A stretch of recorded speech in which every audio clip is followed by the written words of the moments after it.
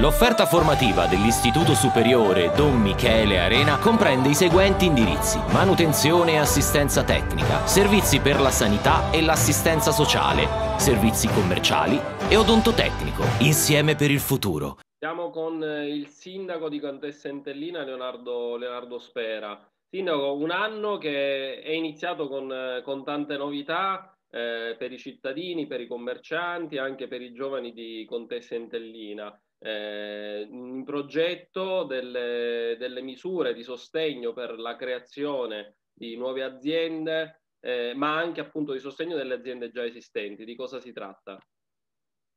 Buonasera salve, buonasera a tutti i lettori e ascoltatori di, eh, di Saluto.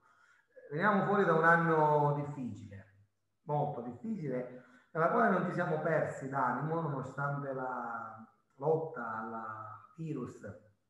che non ha lasciato scampo ai territori anche delle aree interne, noi abbiamo continuato a, a programmare, a programmare tantissimo. Oggi, all'inizio dell'anno nuovo, chiaramente eh, mettiamo in campo tutto quello che è stato il, il, lavoro strategico che insieme a chi accompagna questa avventura amministrativa abbiamo portato avanti. Eh, si tratta nello specifico di, di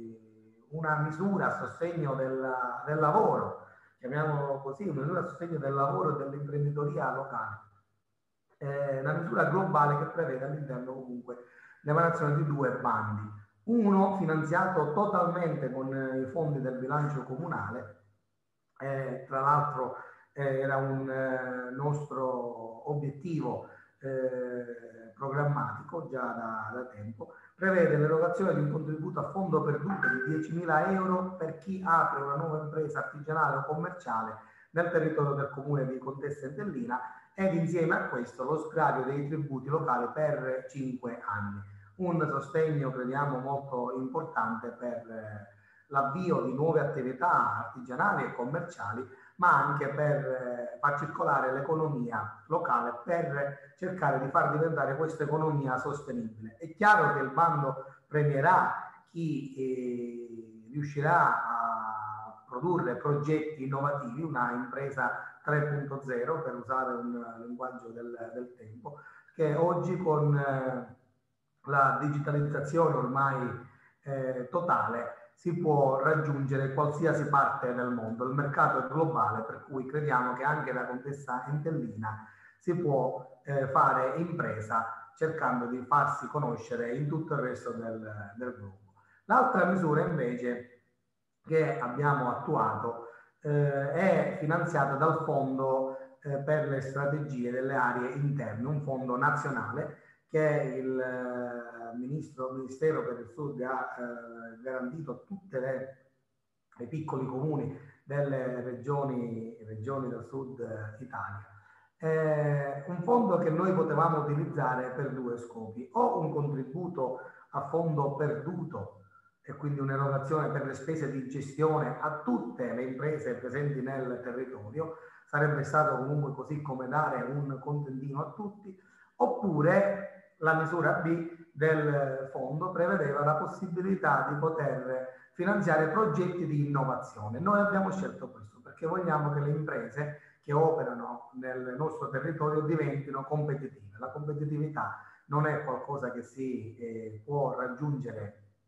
aspettando, eh, aspettando misure diverse, ma è qualcosa che noi possiamo incentivare, è qualcosa che le imprese possono raggiungere soltanto se riescono ad investire in determinati, eh, in determinati settori. L'innovazione è uno di questi, per cui crediamo che le nostre imprese possano diventare competitive e possano superare quel momento di crisi che il eh, Covid, l'emergenza coronavirus, ci ha comunque costretto a vivere. Sindaco, un messaggio importante che viene da, da un piccolo comune delle, delle terre sicane che però guarda al mondo, che negli ultimi anni ha creato diversi eventi di qualità e che adesso eh, si pone anche appunto come, come veicolo eh, commerciale e, e, di promozione per l'artigianato locale, per il commercio locale eh, e in un momento in cui come dire, i comuni non vivono di, di, grandissime risorse, il comune di Contessa invece riesce a trovarle e riesce a metterle a disposizione dei, dei propri cittadini. Come si fa? Come si fa? Si fa eh, cercando di, di, gestire al meglio le risorse che, che, si hanno. È vero che il periodo eh, per i comuni non è dei migliori, che l'anno appena trascorso comunque non ha dato certezze fino al 31 dicembre ultimo, sono arrivati eh, stanziamenti da parte della regione che non abbiamo potuto eh, nemmeno utilizzare, per cui non è stato facile programmare, non lo è stato per tutti, per tutti i comuni, ma è chiaro che se una strategia c'è, quella